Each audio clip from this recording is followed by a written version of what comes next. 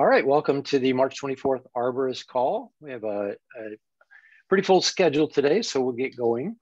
Um, format or the agenda for Arborist calls is typically always the same. We have a quick you know, intro, we do some node updates from ZebraD, Zcashd, then we have kind of an open discussion section. Um, we've been talking about NU5 quite a bit over the past few months. Um, we've got uh, continued discussion on that.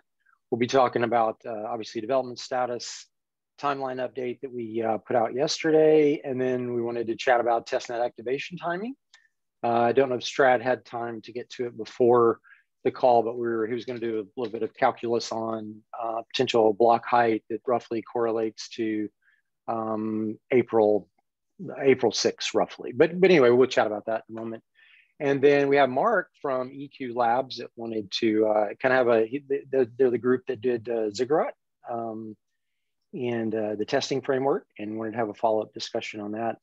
And then Daniel, um, I mean, we can obviously slot you in there for like a quick update too, if you wanted to, to just provide an update or whatever. Um, didn't know if y'all were going to make it this morning, but we we always have a good bit of flexibility during that open period. So we'll get going with that. Um, calls, for those that may not know, is we uh, talk about protocol and everything protocol development related. R&D, uh, design, implementation, blockers, et cetera. Of course, again, with NU5, we're talking about the final stages and timing primarily and progress that we're making toward that goal. Um, the purpose is to make it more accessible. So, I mean, this is, you know, Nate, it, the Arborist calls, by the way, is Nate's brainchild. He thought it would be great to have like a, a protocol specific call um, for folks. And, and the goal was to make it more accessible and transparent to the community. So, you know, just kind of kudos to Nate because right now on this call, we've got ECC, the foundation, Mark from Ziggurat, Daniel from QEDIT. So we've got multiple groups involved in protocol and protocol related things. So it's exactly what we always envision the calls being. So kudos, kudos to Nate on, on the thought and idea. Um, anybody can participate. Uh, you just want to hang out and listen about protocol development, you're welcome to do that. If there's something you want to present, just uh, you can get in touch with me, Stephen at electriccoin.co, um, or join our Zcash R&D Discord um, that's shared with the community uh, foundation. Everybody's in there just chatting about protocol dev. Um, let me know there. And it could be something you want to talk about, or you could just request that we discuss it and get it slotted into a future meeting. Um, okay, with that, I will turn it over to the foundation team for an update on ZebraD. Thank you. Hi, everyone.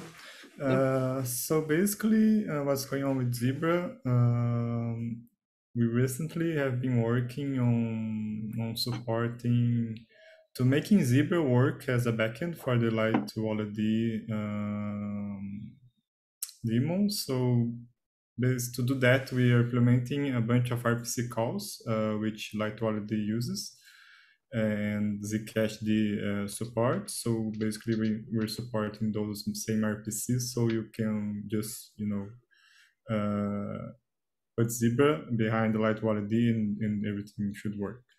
Uh, so on the last two weeks, we implemented some RPC calls, which were get best block hash, get raw mempool, and get raw transaction. So basically, obtain information uh, about the blockchain transactions. Uh, so that's going well. Uh, we had to to change a little bit our database. Uh, there are two parts of that. One that was completed is that we are now storing uh, note commitments trees for all block heights. Before that, we just stored them for the tip, uh, except Sprout, which also need for every block.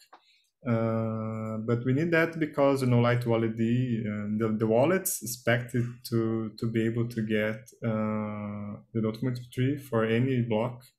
So we had just changed a little bit our database to store them.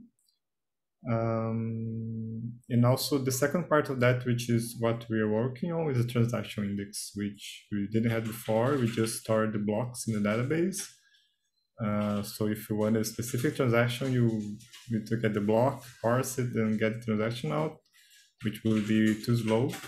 So we've been working on the transaction index. Um, and other than that, we fixed a um, kind of annoying bug in Zebra, which, you know, when Zebra was syncing in was almost at the tip. It would get very slow and take a long time to re- actually reach the tip.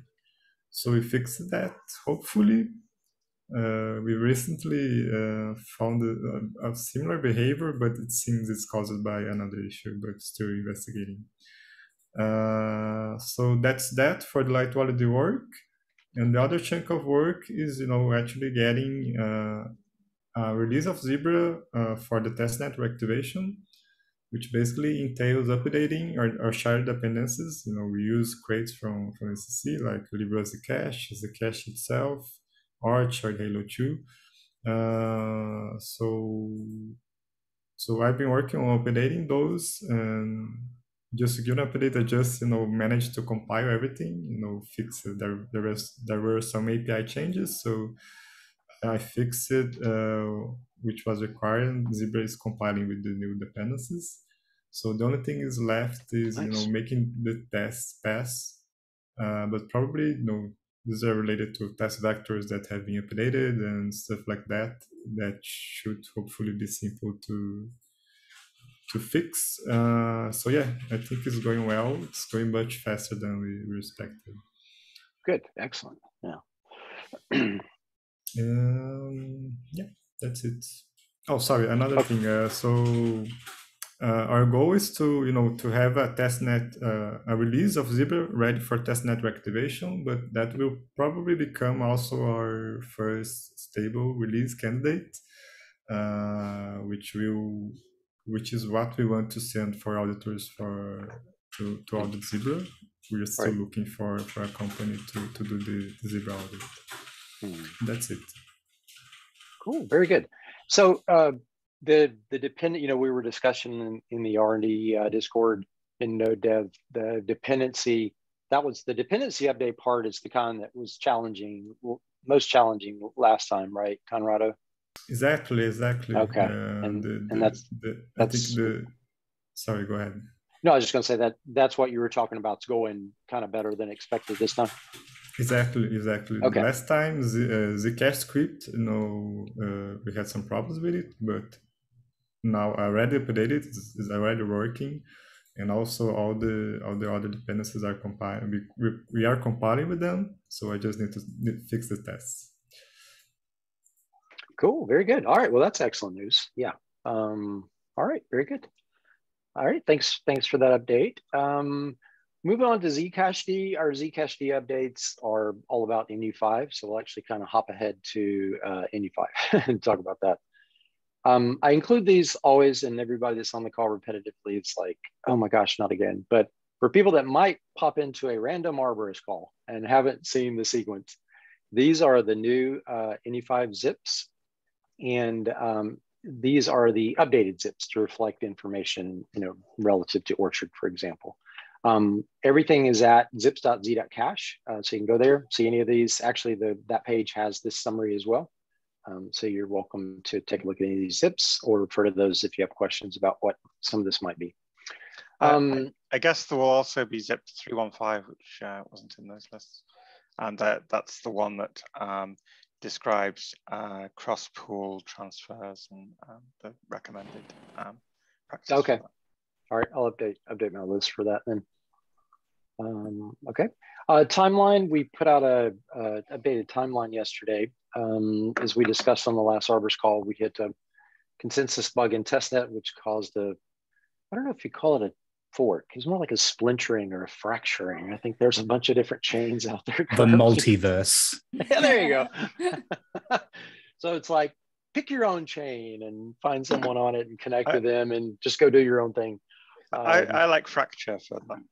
Yeah, fra- fracture. It implies pain in a way. So I love multiverse. yeah, multiverse is good too. How about a fractured multiverse? We'll go with that. We'll just yeah. yeah the, the painful multiverse. But anyway, we are roughly right here on the red dot.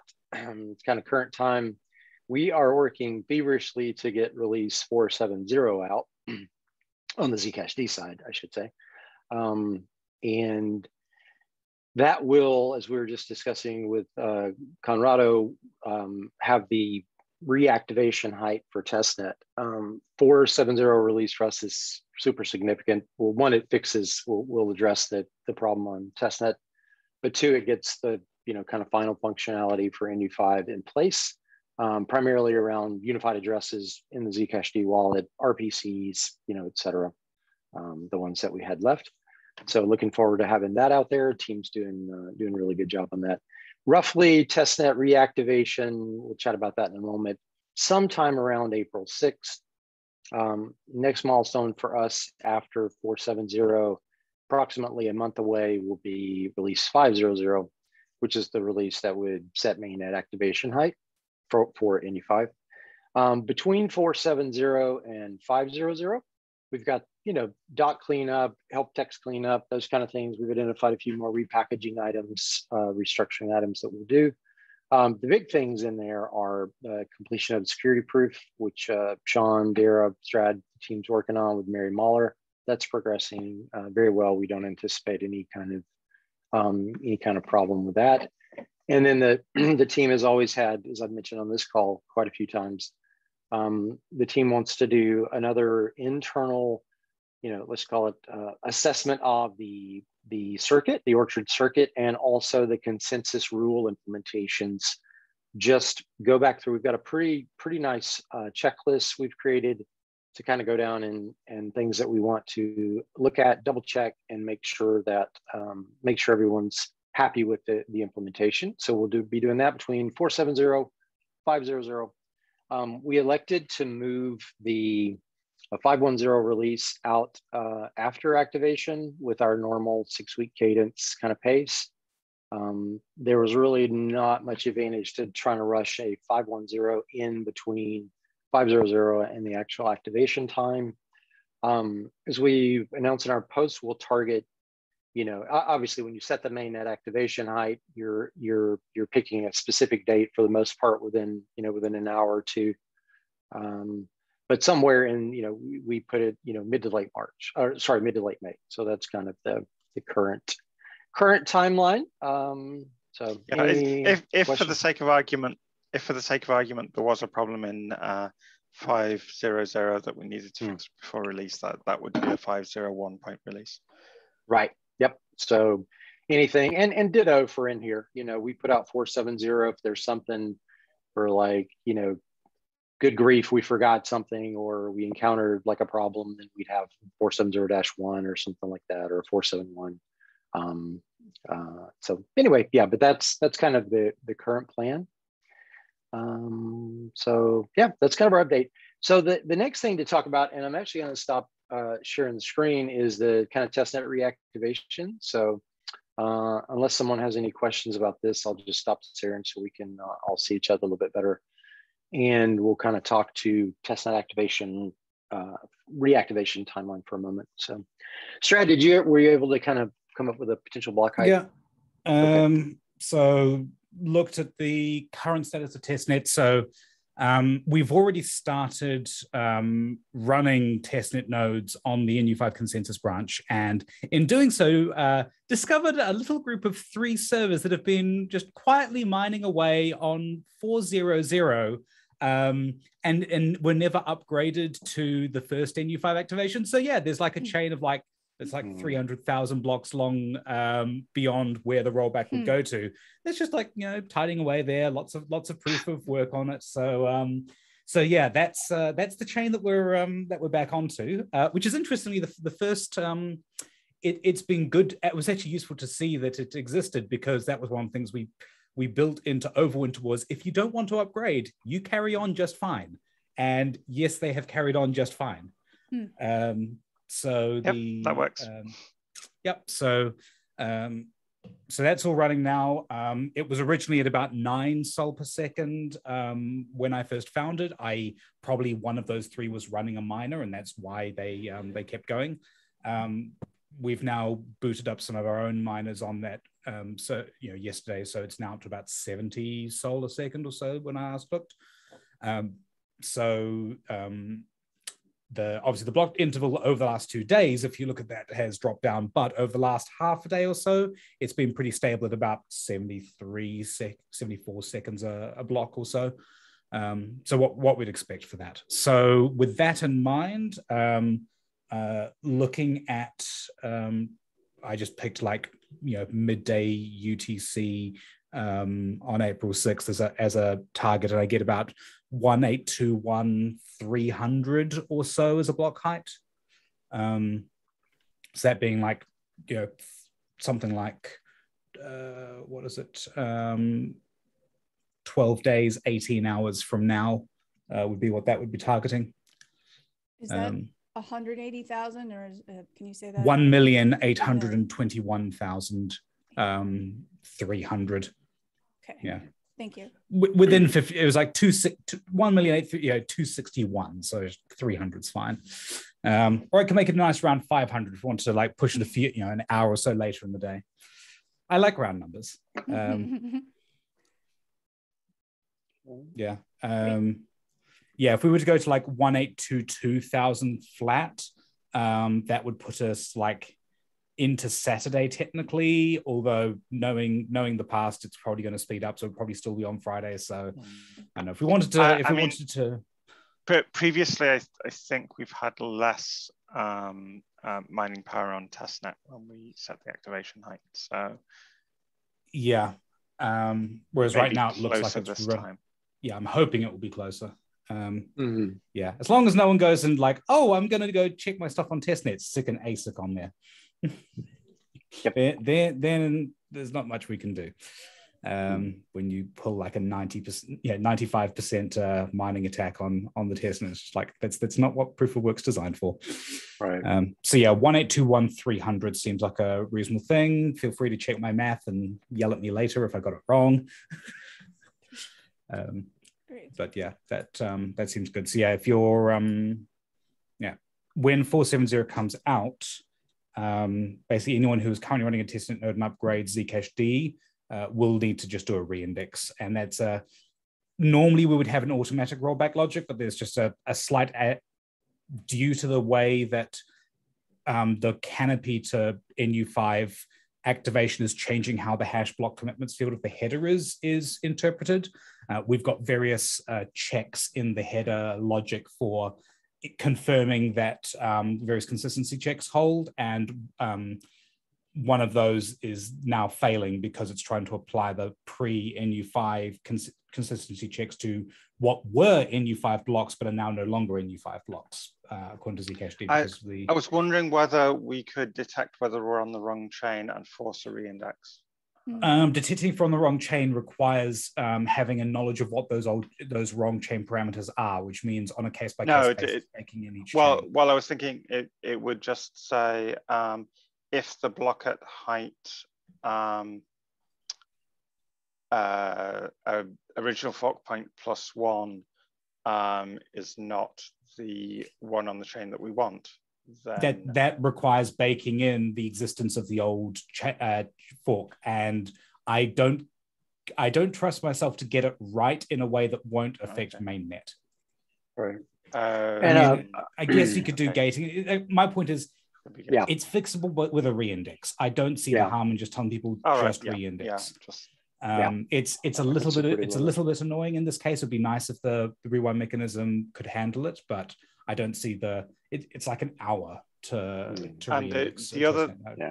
the other thing the other reason why um, I was thinking we, we, might want to detect it is to clear the ban list in that case um, because um,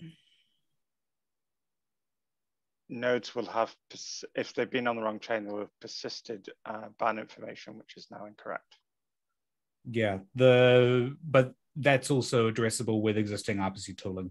Um, there's there's yes, methods to adjust yeah, to call. alter the banning, and worst comes to worst, you can delete the ban list.dat file.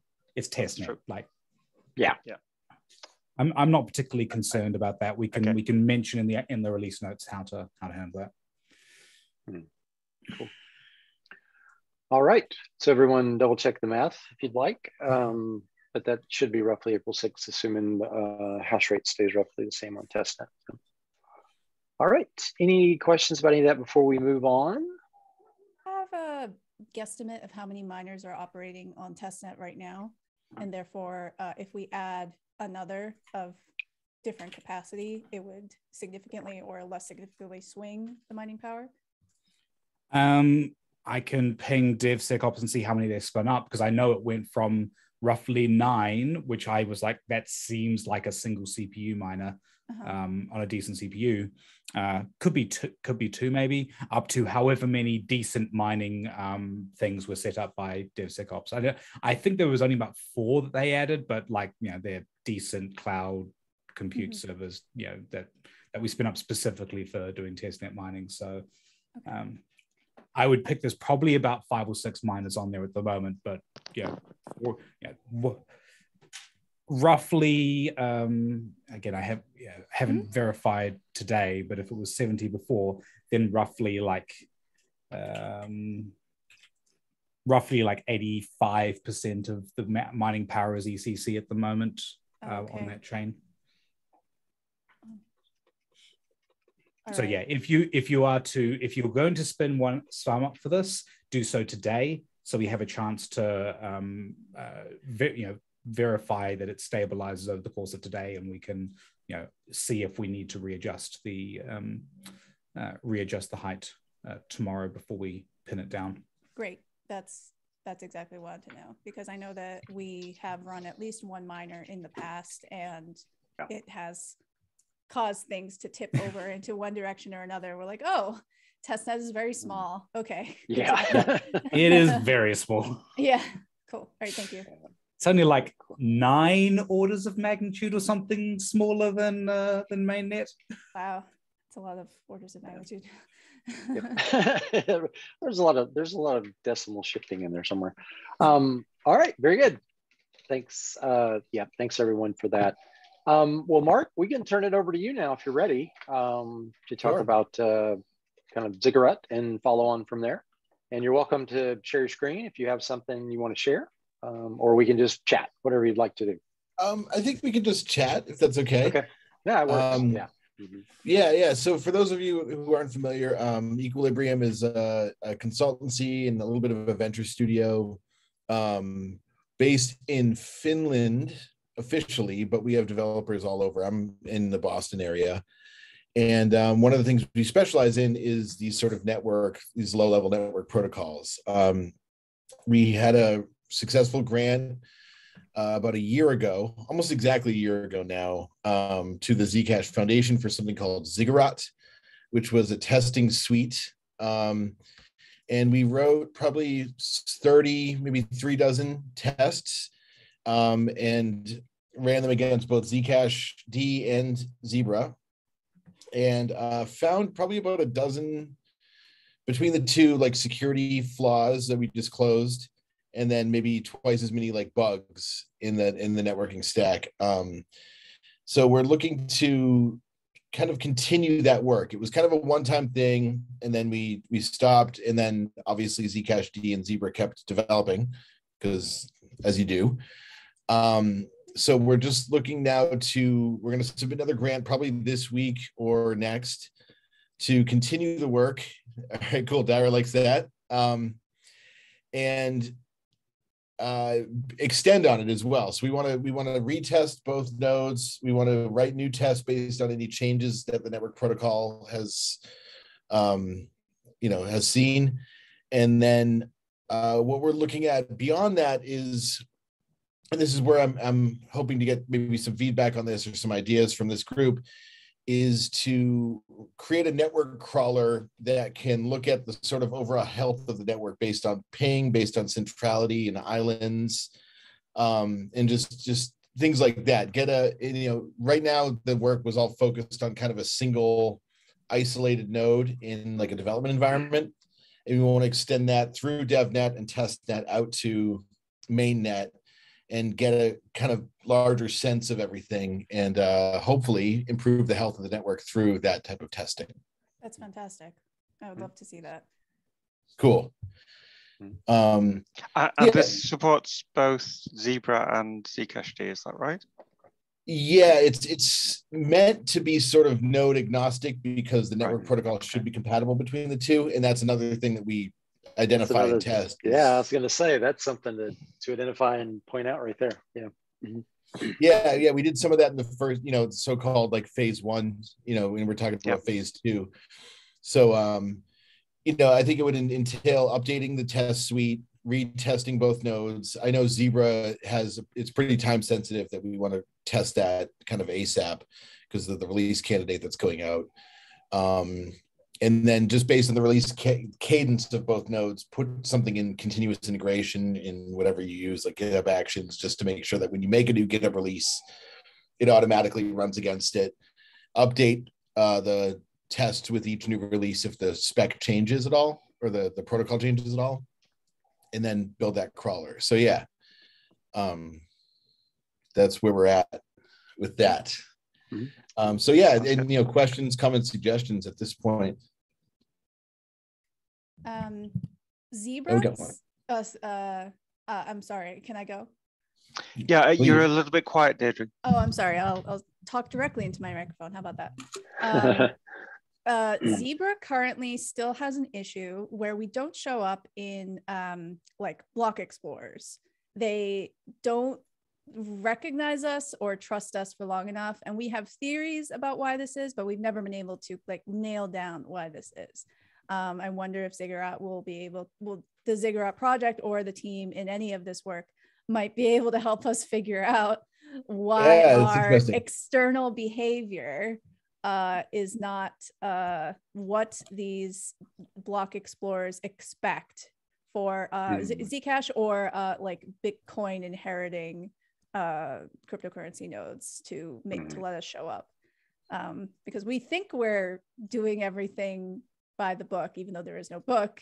Uh, and so we're, we're trying to any any help yeah. in informing any of that is is a value to us. Right right right. Yeah i mean there's yeah there's a lot to unpack there because we yeah we understand that that um zcash it basically kind of inherited the network stack from bitcoin. Um and Ziggurat has sort of now become the sort of de facto spec for this because that's what we're testing all this stuff against. Um, for better or worse, you know, we would prefer a, a, a, formal spec, but we're happy to, you know, be tested against. I just found out about this problem, like literally as you said it. So I don't know if we're going to be able to fix it because uh, oh, I don't no, know the nature but... of it. But that's something that we can definitely like mention in the grant and look at because that's uh, sounds important yeah. they should be showing up in the in the block explorers for sure. I think we have yeah. uh, spitball some ideas about uh putting out like an rfp of like we if someone has time and energy to go dig into this for us which might involve like going to block explorers and either going into their code if it's available or talking them to them directly to ask how they figure out how they surface these things uh, that might be a thing that we do. But the Ziggurat project's been so useful to us for like getting something codified about how at least the Zcash peer-to-peer network protocol is supposed to work, or at least the expectations of what the different the two different nodes now, how they talk to each other. So it's very possible that you might find something in the scope of the, the grant that you've laid out uh, that informs us trying to solve our own problem. mm-hmm. Yeah, I, I'd really um, like to use some of this information to improve the documentation and to, um, at, at, the very least, to document how um, Zcashd is different from um, uh, Bitcoin the, at the network layer. Strad, you had a hand up? Yeah. Um, I just wanted to ask if you uh, were planning on taking uh, so it sounds like for the proposal that you're planning on putting up, you want to obviously do the retesting you mentioned, um, sort of in situ, but you're also looking at taking your live measurements from being a single node view of the network to trying to produce a wider view. Um, and I just wanted to ask if you're going to be taking into account like privacy aspects uh, around this. Um, I know with like Zcash at the moment is is like a a like global passive adversary is is something that we don't currently try to defend against. Um, but I'm also not particularly uh, yeah. have you know I would prefer if we don't if we don't like produce one of those ourselves, I guess. So if um right. so if there's um if, if you're planning on having considerations of like how that uh, information will be collected and um, and um, amalgamated. Yeah, that's that's that's a really good point. Um, we definitely don't want to dox anybody or anything like that, of course. Um, and uh, yeah, we, we this is something we talk about internally. Like the last last year when we discovered some of the security flaws, we were just like, how has how has some a hacker not used not just in Zcash but in any blockchain network? Like, how have they not used a, a network flaw to take down the whole network? Because a, a crawler with the knowledge of one of these things could easily just wipe the whole thing out. And um, I, I, I'm astonished that that hasn't happened. Um, it's only yeah. a matter of time, right? Yeah. Yeah. Yeah. Yeah. Like yeah. Yeah. It's important for us to find these things and identify them so that we can address them. Um, so, right, so like right. it, it's, it's just a case of finding the right balance I think, of what information is necessary to collect in order yes. to identify that. Yeah, yeah. I think I think you know the two the reassurances I give you right now is yes, we want to be conscious of that as we develop this, and I think there's going to be a suite of tools that are for dev and testnet, and then a suite of tools that are for mainnet, and they're going to be kind of sub separate. So like you know you, you might be able to crawl mainnet, but like in a really limited way, and you can't do anything except just kind of look at it. Um, and then when you do look at it, maybe we don't publish IP addresses or we don't, you know, whatever identifying thing is there. Yeah. Because you want to know, you want to know if the, you know, if the network is too centralized or you want to know if there's like two yeah, it, islands or something like that, but you don't need to know who it is or what it is. Exactly. And it's, yeah. And, and yeah, it's just, it's, it's a case of i guess just being clear with you know what what is the what are the metrics you're actually trying to collect?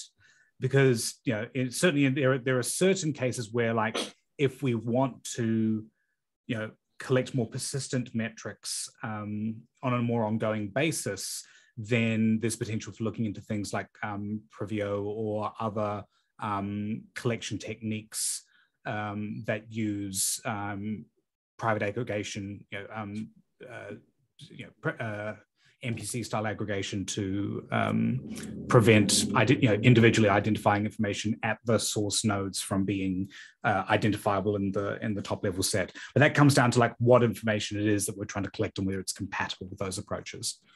Um, yeah, yeah, um, yeah. I mean, I think this will be an ongoing discussion. You know, we'll, yeah. we, our plan is to join the the r&d discord and be pretty active in there as we yeah. as we go through this stuff. And if something comes up and you're just like whoa whoa whoa don't show that you know we will we'll remove it from the crawler. That's fine. So yeah. Yeah.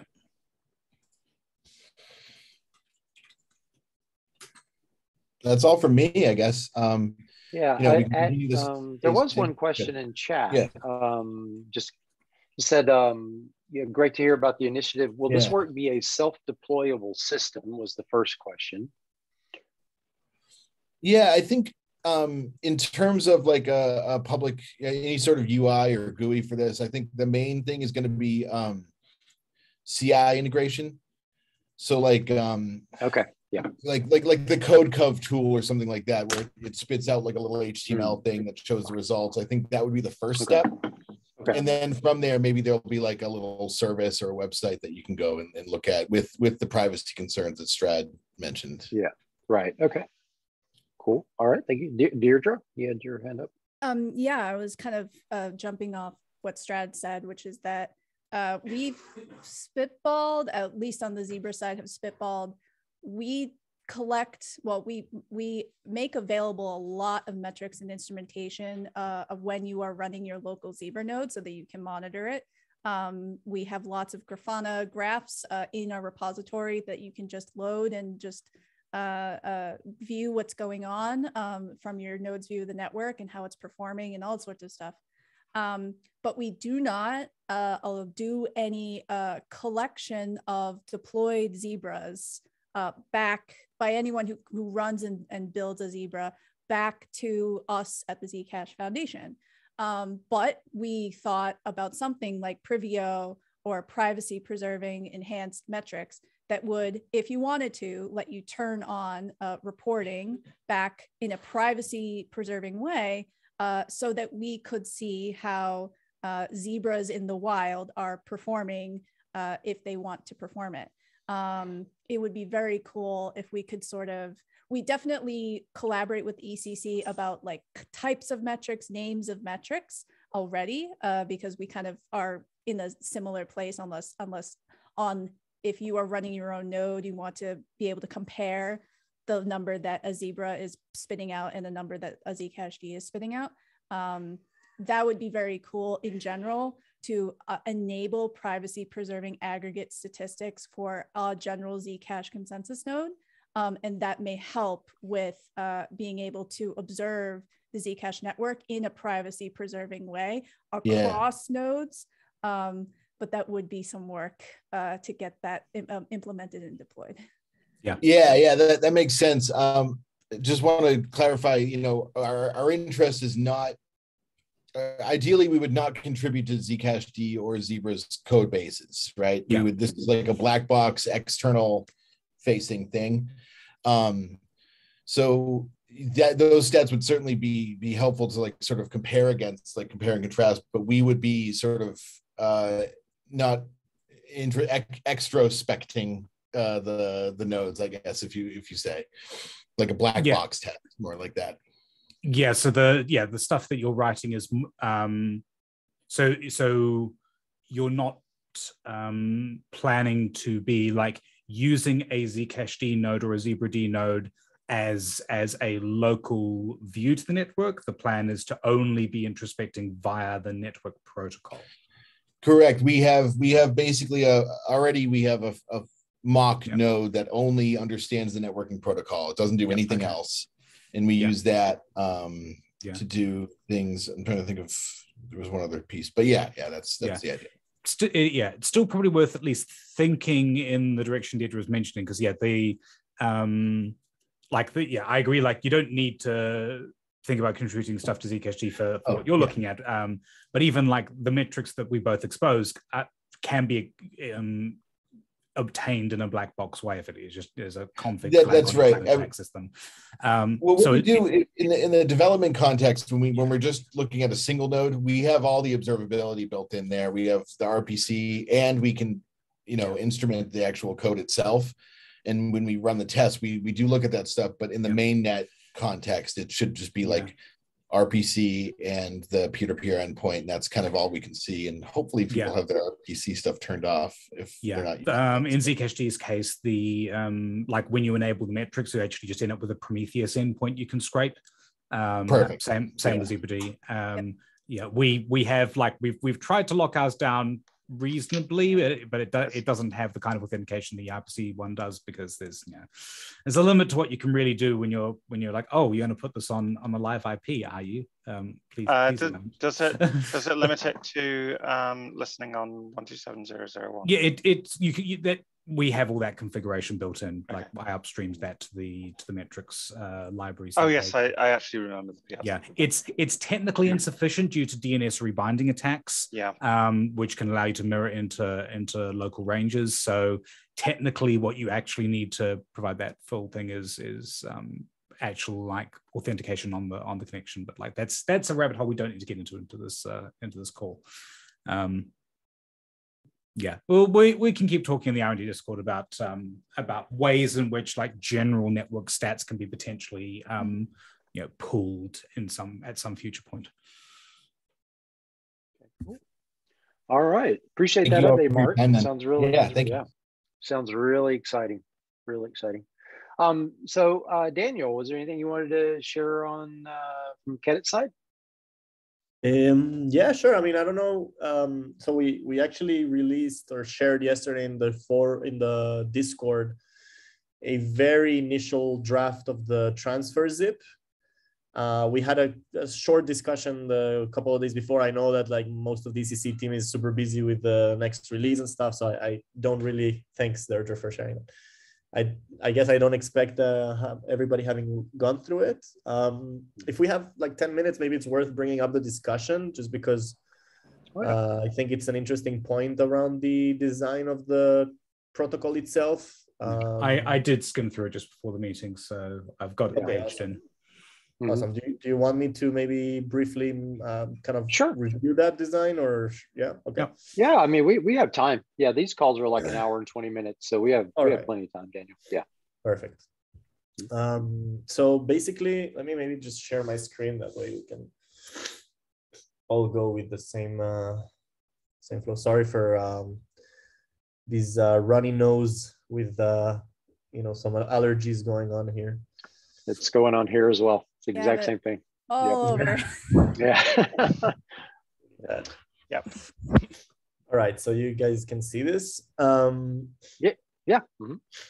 So I, I want to maybe like introduce it also a bit as a comparison, like, but just to give maybe first the, the context, like previous conversations we had kind of discussed mostly the uh, the, the design that Daira uh, shared in one of the issues in GitHub uh, that I that I think also comes as an evolution of previous ideas and whatnot, um, which essentially said something like, um, uh, you know, we're going to change the base point of the value commitment to be uh, the to, to be identified as, as, as to identify different assets.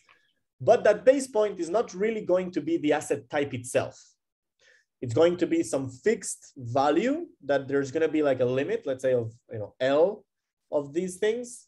Um, and uh, these are going to be fixed also inside of the circuit. And that way you're going to be able to prove um, you know, uh, the, the, that at the end of the day, you have this the your the balance is with respect to the same value, even if diff, if same asset types have different bases.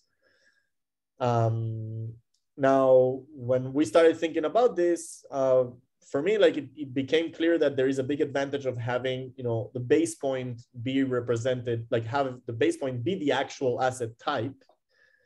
Um, and also in, in that it would reduce the potential you know size of the circuit and the complexity of the development etc because you know we're very aware of the difficulty of touching the circuit and we don't want to the, the least we need to change the better in some sense um and what i realized you know i think it was like late last week was that this kind of small change of of thinking in my mind kind of gave gave me the the the picture of, of what the protocol could look like uh, with having you know, the note commitment include the asset type and the value commitment also include that same asset type as the base. And that's basically that we would have um, the type itself be a point on the curve uh, itself, right? So the context of this, right, the background is that um,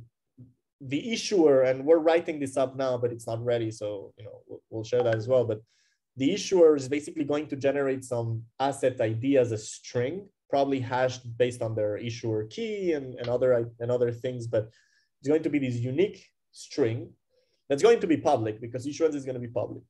And then the chain itself is going to actually compute. So maybe you know the in the issuance transaction itself, there will be the, the transformation of that right, uh, asset uh, ID at, into the group using the group hash. But this is a public transformation, so no need to compute it inside the circuit. Mm-hmm. And then this thing is going to be the kind of the real asset ID for the orchard-based notes, right? Or the, I call it OSA, by the way, orchards shielded assets, because I thought that Zcash shielded assets is maybe too generic. Um, and so in essence, what would happen is, uh, you know, and, and I'm sorry if there is some inconsistencies in the notation. Again, this is really very first draft. Any comments are welcome. Essentially, what we came up with is kind of having this note uh, structure that just includes the actual point of the type, where you know easily you include this in the note commitment, yes. and then for the um, actually actual node uh, value, uh, value commitment, you're going to allow the the value base point to be that same type. Got it. Right. Um, yep. Now, regarding so now the process of verification, right? Like the issue that kind of came up with that came up is that right in the previous setting when you, you had one balance one value balance per asset you weren't revealing what asset it was because it's a fixed base point. Um, in this case, though, you would reveal the actual uh, value balance and the asset type because you need the value base point to hash the value balance of that specific asset type, right? Like I show uh, here. Sorry, Strad, you have a you want to make a point? Or? Yeah. Um, yeah, well, I do, but I'll wait. I'll wait till you've finished the um, sure. going through. Stephen, you want to? Um, I want to make sure I understood what you sure. just said in, in, in much higher level layman's terms. this would, so this transfer mechanism would reveal the asset type. So you would know it's a, a ZEC or a ZBTC or whatever, for example. So, so, I, um, I, think I think that Daniel is halfway through his explanation, uh, and yeah, we should wait yeah, yeah. for the end. Okay, okay, um, all right. This is a this is a problem that he's he's going to fix. Um, okay. Yeah. Hopefully, but yeah. Uh, okay. Essentially, right. I, I, like to present the challenges as I go to ah, shape, okay. say why was what's the rationale of what I'm doing ah, to okay, kind of solve the problem. So sorry. So, so sorry. C carry on. Yeah. No problem. No problem. No problem. So basically, the point here is is the following, right? Like thinking about when do we need this value balance is important because for Zcash it comes in because of the fact that we have several pools. Specifically, one of them is uh, well, actually for, for all the pools, but because of one of them is transparent and you have the fee, you don't care having a transparent value balance, right? Um, when it comes to custom assets or shielded assets, except in very specific situations like issuance, burn, or turnstiles, we're not really thinking about allowing unshielding of these assets. So what this means is that the custom assets are going to stay strictly within that pool, which means that the value balance of that asset is going to be zero because there is nothing going in and out, which means that we don't need to add that value balance um, given that it's zero and, and you know it's not going to be used in the commitment. And the commitment is going to be zero anyway. You don't need uh, that value. So what we're saying and maybe this is going to change but this first iteration is saying that we're going to have a vector of value balances. The first one's always going to be the ZEC one, and that's always going to be there. So the, the vector must be of size one or larger. But then based on whether the there is some kind of unshielding or not, which again, the consensus rule is something that we didn't specifically add here yet, because I think this should come as a discussion of what we want as a community to see in the consensus rules. Um, but uh, essentially, it could be added or it could not, right? And if it's not, then you're not revealing anything. And um, at the end of the day, you know, the the the BSK, the signature key uh, for the binding signature is still the same. It's all the randomness of every uh, value commitment. So per every action, basically. Here I distinguish also in the name in the number of assets. Uh, but again, you know, it's maybe too too detailed, too mathematical. Maybe I can just have uh, m large m be the number of actions or something. Um, and uh, BVK is basically computed in the same way. Again, like you know, having all the sum of summation over the CVIs and uh, re removing the value balance of the ZEC and then removing all the value balances for those that are non-zero, mm-hmm. right? This gives you the same BVK and the signature verification happens uh, exactly the, the same way. Um, the nice part is that, you know, again, this is only going to be balanced, you know, based on the specific asset types because of the base point is different. and in the circuit, um, there is two more things that I that I want to share before I I you know open it for for comments, and I hope you don't destroy this in two comments. But uh, um, I see Strada and Daira preparing to answer. So um, basically, inside of the circuit, the the most important part here is that you're using the type um, as a group element as an auxiliary input, and this is a single auxiliary input per asset type, right? In the action, you don't have more like the, the, the, action is per type, right? It's defined per type. And, and so this type is going to be used for the old note commitment because this is a point of reference, right? Like, uh, and sorry for the redundancy, the, the old commitment is already on, on the Merkle tree. So you know that, you know, this is exactly the input that it has to be. And then you're going to reuse this in the new note commitment that ensures that the output asset is the same as the spent asset or the spent note and the output note. And you're going to use it inside of the CV as the base point. So we're basically going to have to change from a fixed base point to a kind of variable based on the auxiliary input uh, base point. And um, you know the only the only kind of uh, non-trivial thing in my mind at least you know of course everything's non-trivial but like the really non-trivial part was like whenever i'm sending a note uh, i'm spending a note there is sort of probably most likely going to be two actions associated to that spent and in the second action sure i can put any random asset as a and as a random base point because I'm doing a, a dummy spend on the second action, but then the value balance is not going to work. You're not going to be able to balance that out. Um, especially if we don't allow the value balance to be non-zero as part of the consensus. Okay, that's all that I had to say for now. So, so um, um, Darren, I'm confused. Uh, yeah, let's let Strad go. He's had okay. Yep. Sorry. Yep. So um, I do have two comments. Uh, you were correct on that point. Um, the first one is this, other than it being migrated to Orchard, this looks um, almost identical, I think, to the proposal that I made in 2019. Um, it would be helpful to to look at that. Um, I've just linked the zip in um, PR in chat. At, at, a scan, it looks like it's got very similar ideas there. So it'd be useful to just check against the two and check if the so we can make sure if there's any uh, specific differences and differences in rationale, we can check those. And secondly, the document I wrote in 2019 um, contains the security consideration that I had around the concern I had around using the um, type as a base point, um, which I couldn't remember yesterday, the other day when I mentioned it there, but basically it allows counterfeiting. Um, so the problem here, it, it allows you to counterfeit funds. So the problem here is that if what is witnessed in the note commitment is a generator, is, is a base field point, um, then the prover can witness whatever they want, including a multiple of a known fixed generator. So the, the, uh-huh. the attack here is that you you witness a, a known multiple such that it causes a overflow in the um, in the field arithmetic and that allows you to um, basically transmute funds from one, um, like a known multiple base point, into a, another known multiple that is sort of out of bounds and, and causes an integer overflow in the field arithmetic.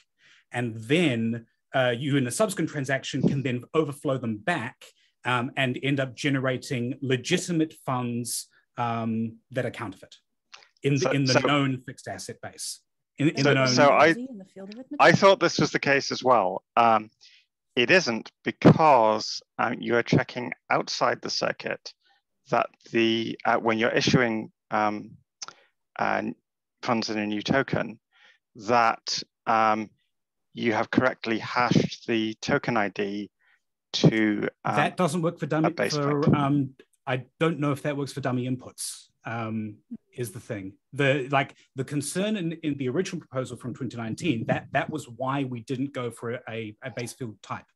So this is why I want to make sure that we've carefully checked the differences between this proposal and the one from 2019 to make sure Understood. that um, that this this yeah. isn't a possibility. Yeah, D dummy notes are the critical point because you're right. You can't allow um, the prover to um, witness an arbitrary base for a dummy um, note. Um, yeah. You you can allow them um, to witness some fixed base for a dummy point. Um, in other words, mm. when the value is zero, just require the um, the base to be some fixed point that you know exactly. that has always also been um, uh, hashed curved, so you know it's independent of other bases. Yeah. So the and, and so for dummy notes, we also do constrain that the value needs to be zero there, but I'm I'm still not like the so, so if the, the value the fact the fact that using the point in this way means that um, that technically the circuit doesn't constrain it in any way is is fundamentally where the issue comes from. And so what you end up having to rely on is the is the external constraints placed on it, namely mm-hmm. um, the, the the idea that you in theory can't get such a note in there. Like, see, actually, no, this this is actually no. I think this might be a, a wider concern now that I think about it even further, because the wider for what we already have. So if if we're relying on the fact that when you issue, you compute that um, asset uh, group hash outside the circuit and bind it, that means that um, notes that are created and attested to in the commitment pool have fixed uh, notes uh, balances.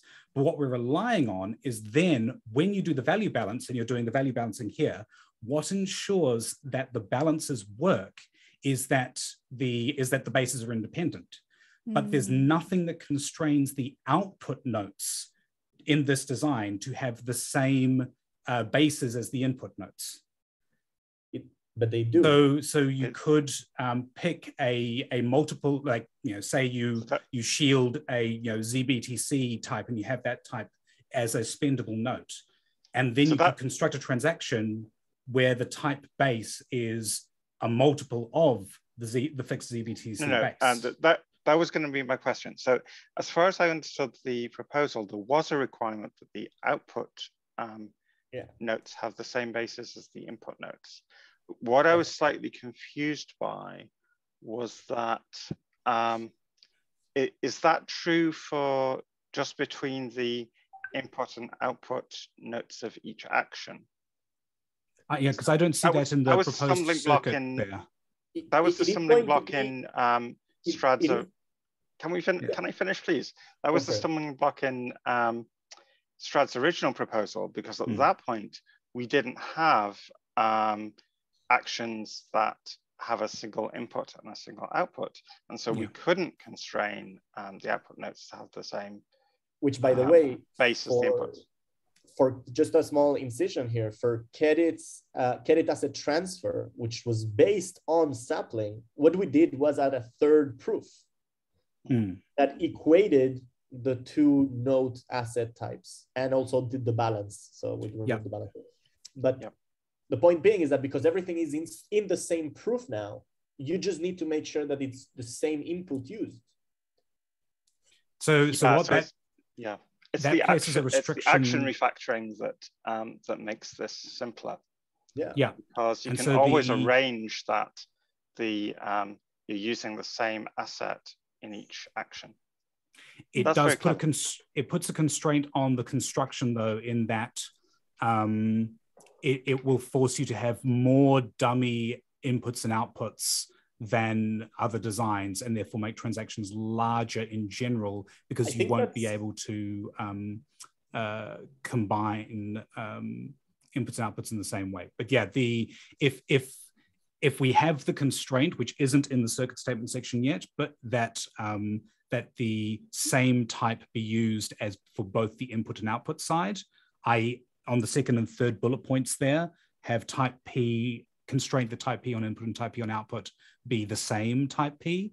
Um, you want me um, to add it as a specific constraint? Then? Yeah, like he, like it says now as a single auxiliary input to the prover. Yeah, just making it clear that like because I see type P and it goes, yeah, that's just the type of the input, type the output. It's not clear that the constraint right. should be that these are exactly the same.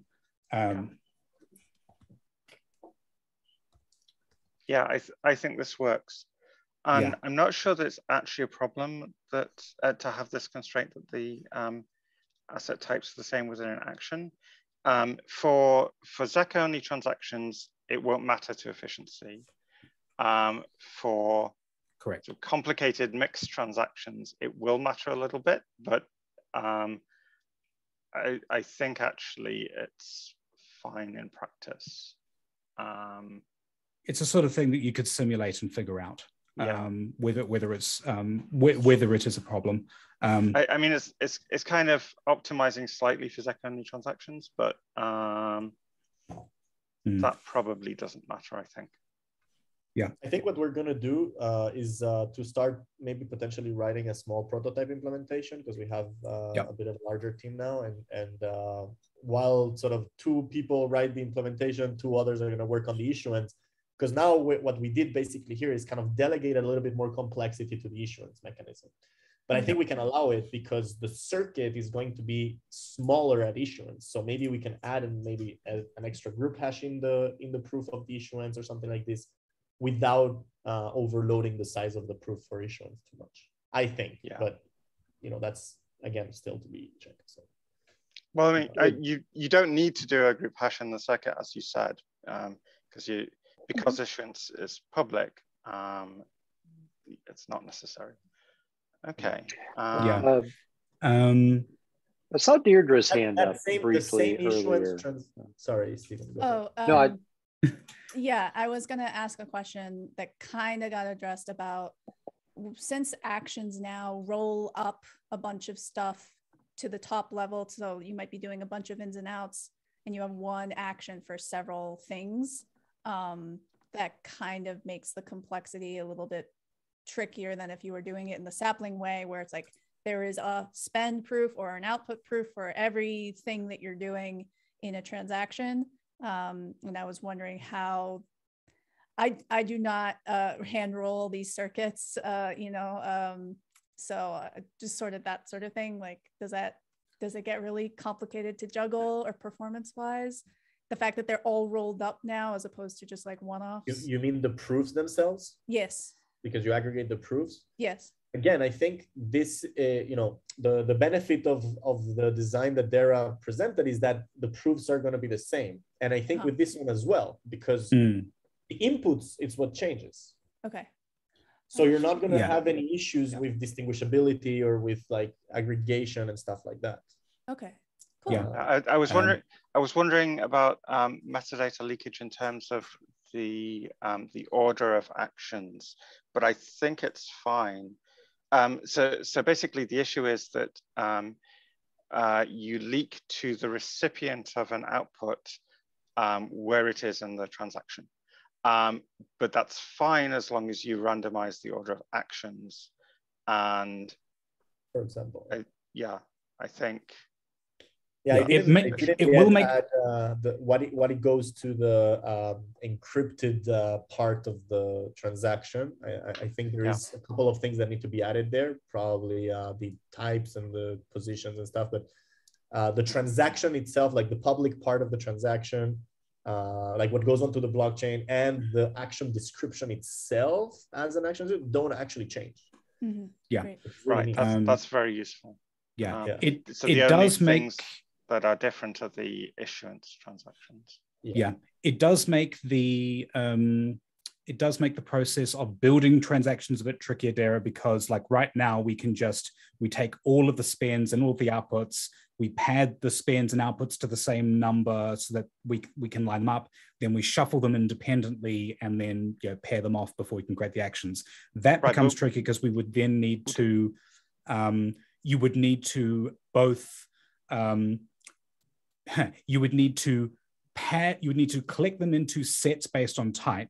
You would need to pad each type group um, uh, to to a, to an even number of inputs and outputs. Yes. You would then need to shuffle those type groups independently.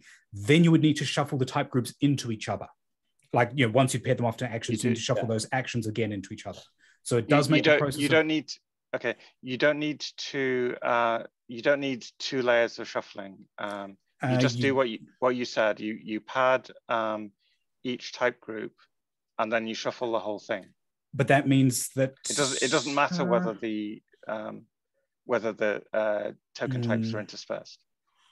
Yeah, I guess because dummies aren't directly identifiable from the spins. Like my concern basically was if you, could, if you fact, can if tell. You the, if you do it the way you did uh, said, then you leak a small amount of information to recipients. How so? Uh, uh, were you suggesting that um, each token type would uh, would be in a particular block and then you shuffle the blocks? No, no. I okay, was saying you, right, you have to do the, you have to do them in blocks in order to pair them up for actions. That's what we do right now because you can't yes. you can't pair to actions and then shuffle.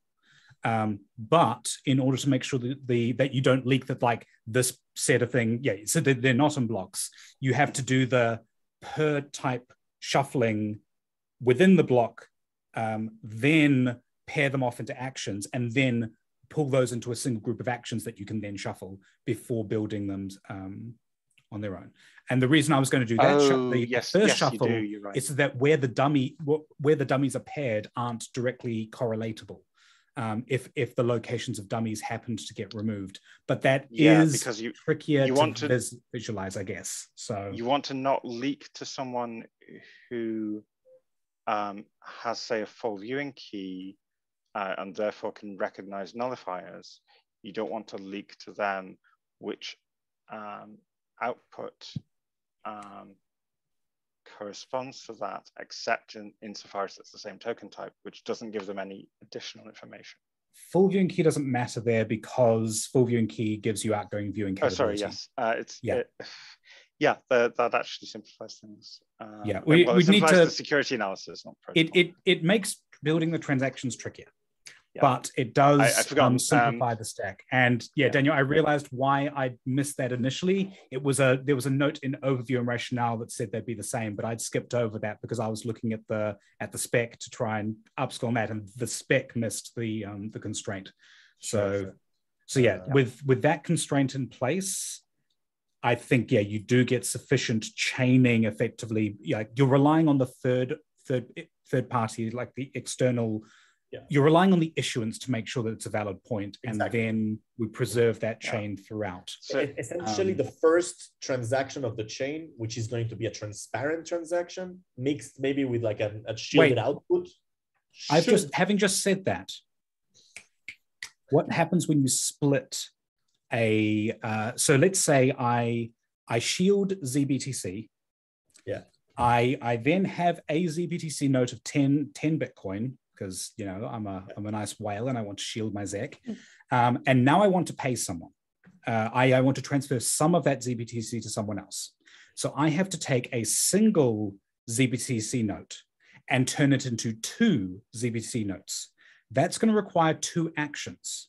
Now, the one that is within, within the same action is going to be chained correctly because we constrain them to the same type. What happens with the second action?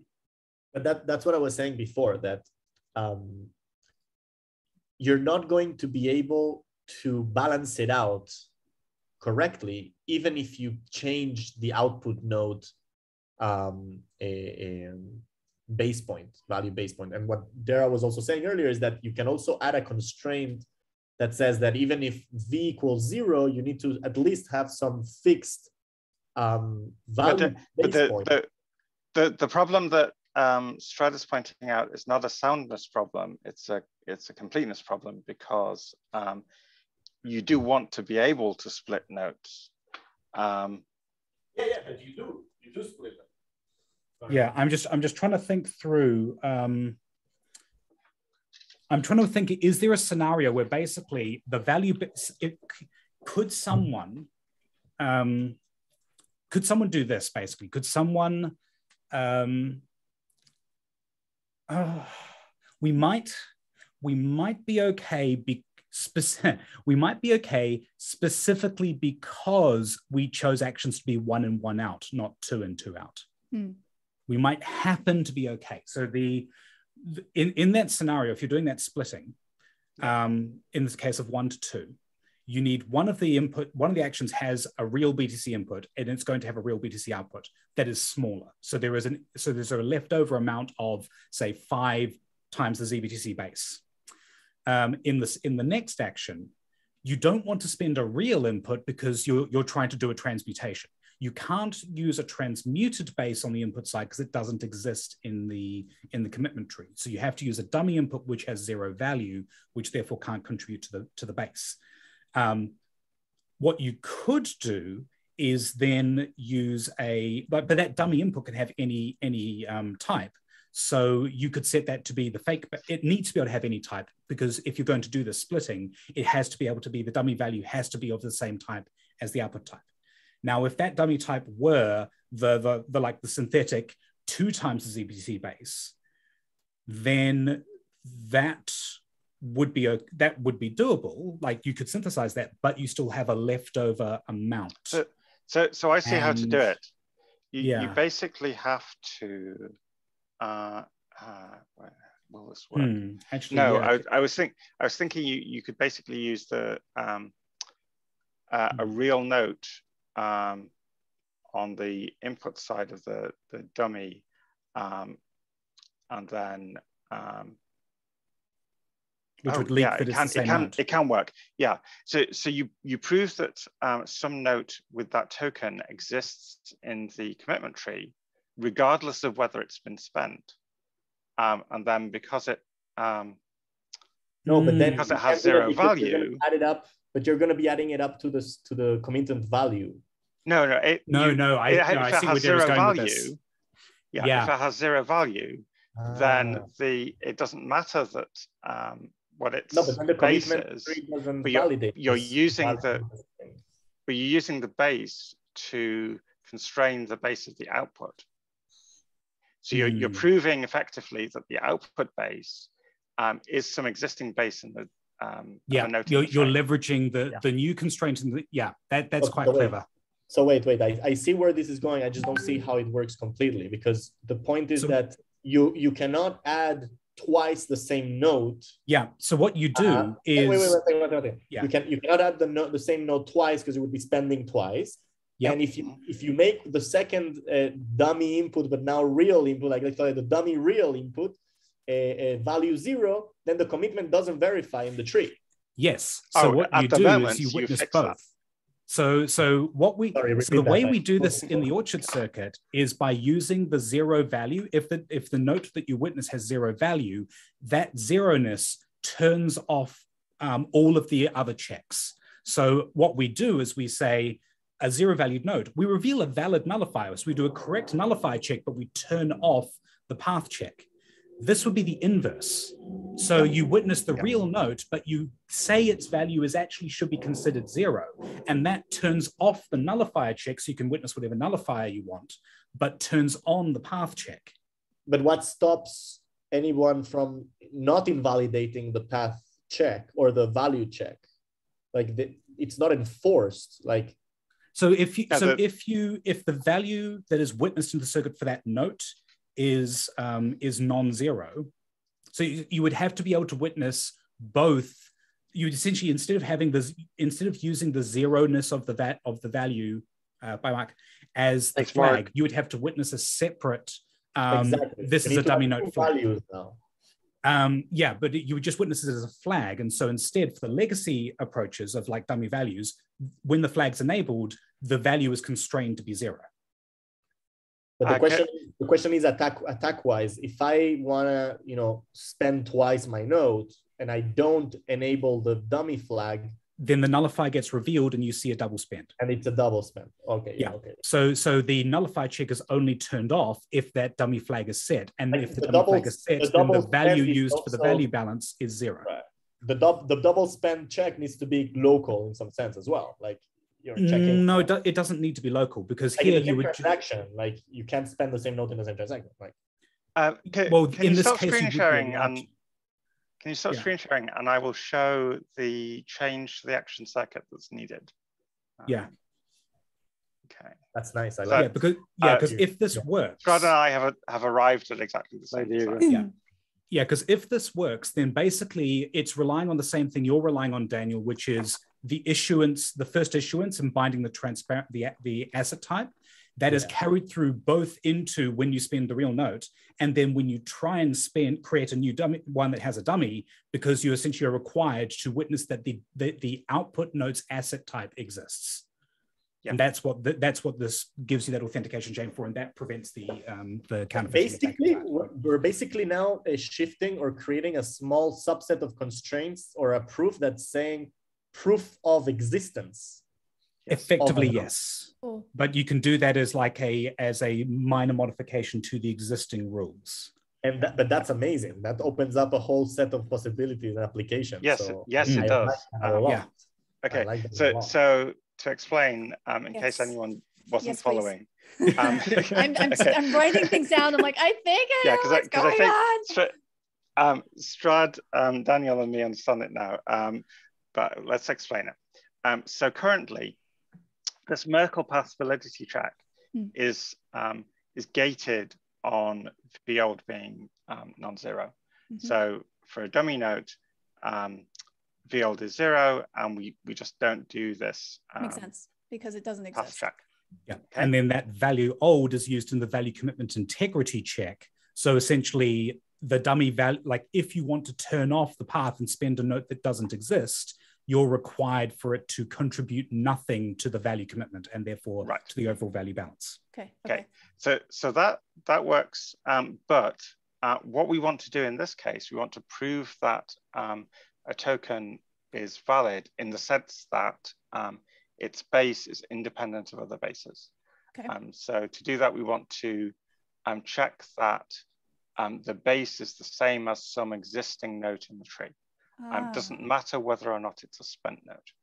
Um, so hmm. instead of um, gating v uh, not equals uh, v old not equals zero here, um, we gate it here in nullifier integrity. Mm. so this would become nullifier integrity, either v old equals zero or this current condition. And what that allows you to do is um, for a dummy input note, um, uh, so, so, so, suppose we have the scenario that we were talking about before where you, where you want to split some uh, ZBTC. Um, so your, your first um, action is um, uh, input note goes to uh, partial output note. Partial output. And your second um, action is dummy note, but um, you have to prove that it exists in the tree as mm -hmm. um, that there exists one ZBTC note in the tree, spent or unspent, um, to the second um, partial Z, uh, okay. yeah, uh, second so, ZBTC output. Yeah. So wouldn't specifically here be either V or, either V odd equals zero or what it would actually be is either enable dummies, you know, either is dummy equals true mm. or NF-old. And then well, the well, path actually, validity and let's call it let's call it if, if you want to call it differently let's call it yeah because because v old will still have to be the value because in order to do the merkle path check there you need the the actual value of that note you're proving in the tree in order to derive its note commitment and so we v still old need that would check. still be a non-zero. true, yeah. we still need that check for dummy of zec yeah, um, it's, it's, actually this field here that you need to be zero. Um, yes, to, exactly. To, yeah. yeah. So what? Yeah. So you would be constraining that value to be different, and that check would be fine for existing dummy notes for Zec. Um, as long right. as so this this becomes basically what the thing that I've highlighted becomes um, is dummy uh, use zero, otherwise use uh, the old. Yeah. So you could do this while keeping the existing V old equals zero condition on Merkle path validity, because essentially that condition continues to be fine. Um, and you would essentially put a, you would actually have the, um, uh, maybe the, maybe is dummy is the wrong name for that Boolean flag. Mm. The Boolean flag might actually be um, uh, is, is OSA or whatever, OZ, OSA, yeah. because that's really anyway. is all it's used for. And that's, and that then if that flag is false, or rather, if that flag is true, then V old must be non-zero. Yeah. And then uh, V old uh, V old of the note must be non-zero, which means the Merkle path validity check is enforced. Yes. But then the V the value used in place of the old in value commitment integrity is then hard coded to zero with that Boolean flag. Yeah, and then the nullifier. Um, still, and you still don't show the nullifier. Um, yeah, exactly. Because well, you turn the you, nullifier you can check off, the nullifier in that case. Yeah, exactly. Yeah. You would it would yeah. be yeah when when the is OSA flag is set, the nullifier is unconstrained. Mm-hmm. Um, it is still required to be unique because the nullifier is revealed in the same way that dummy note nullifiers still are unique, because, which is why they work. As long as, as you have a PRF, you should be fine. Exactly, because yeah. well, yeah, and we use them as the if, if it fails, well, it will fail when you try to submit to the network, and so you'll be forced to to re-roll your nice. transaction, which is fine. Exactly, and, we we rely on um, the uh, PRF output not um, colliding um, anyway for completeness. So that's it's yeah. no different to the existing protocol in that respect. Amazing, amazing. Yeah. Okay, just, just to quickly summarize, because I know maybe mm-hmm. Stephen wants to take over to finalize the call. But just to mm-hmm. summarize this whole thing, the in theory right now it looks like the proposal, uh, you know, works mainly because of the fact that uh, kind of the differences between sapling and or and, and orchard that yeah. the two input in, input and output notes are combined kind of solves this big uh, equating dilemma by ensuring that the type is the same in both uh, old and new note. Uh, and when it comes to splitting, then we have this new trick that is inverting the whole domino path, which is more generic for multiple assets, which is awesome. And there is a specific check and kind of potential complexity that needs to be handled at the issuer level um, that we yeah. need to make sure to uh, solve as well. And that's what we're going to be working on in the next couple of weeks. Yeah. Amazing. Yeah, that's, that's, this sounds fantastic now. Um, I love yeah. it and I think I think and I, I, I, know that I said this kind of uh, threw it out there and it's not you know the right term but it's it's a little bit more elegant like yeah uh, if exactly the the type just being a point is very elegant hmm. um yeah. it just yeah the the first go at it three years ago was broken and um now we have now with the way orchard is it can be fixed which is hmm. fantastic yeah so so I was. um so this definitely works as a, a, black box. I'm just thinking how it might interact with other potential features. I, I guess we don't have time to discuss it on this call, but um, I, I, need to think about how it interacts with things like um, uh, the. I had proposed a protocol for um, uh, based on election protocols for um, for um, doing uh, supply auditing. Um, so I need to check how it interacts with that. Hmm. Um, All right. see. That's the only other thing that I can think of. Yeah. Everything else, like, yeah, the Everything the changes relative to the 2019 proposal are are very minimal. So most of the analysis of what we'd already been doing relative to the 2019 proposal should still apply. Yeah. Um, it's it's mainly just yeah the the type being now a base field element and and constrained in this way. Um, uh, just means that then yeah the all, all of the things tied to what this asset is occur directly at issuance. Um, mm-hmm. um, but yes amazing. Let's let's do the following. I'll, I'll rewrite a little bit with more detail what we discussed and uh, we'll hopefully have some you know test implementation or something uh, in the next month or so and and you know together with the issuance draft. So ne- let's I'm, I'm putting in my mind a, a, a potential tentative goal. Next uh, arborist call at this time zone hmm. we'll hopefully have the full picture to discuss at least like the first draft full picture uh, so small detail when you're writing this up i think i would prefer if if vold stays as the um, the, the value that is actually being used in Z, uh, CVNet, and we use yeah. some other variable name for the um, for for the value of the old notes node. value. Yeah, that's fine. Okay. Yeah. Cool. All right. All right. Excellent discussion. Mm. We're we're we're right. We're we're in our 10 minute buffer, so we're arguably right on time. Mm. So um, screen sharing. No, phenomenal. So appreciate yeah. everyone uh, joining us today. Uh, good to see you, Dodger. Uh, and, and anyone who's reading the uh, watching the recording can see how protocol design works in real time. Yeah. Yes.